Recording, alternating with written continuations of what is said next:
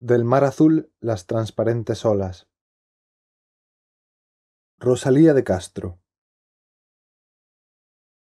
Del mar azul las transparentes olas mientras blandas murmuran sobre la arena hasta mis pies rodando tentadoras me besan y me buscan.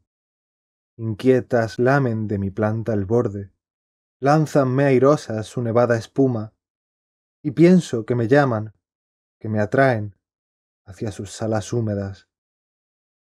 Mas cuando ansiosa quiero seguirlas por la líquida llanura se hunde mi piel la linfa transparente y ellas de mí se burlan. Y huyen abandonándome en la playa a la terrena inacabable lucha como en las tristes playas de la vida. Me abandonó inconstante la fortuna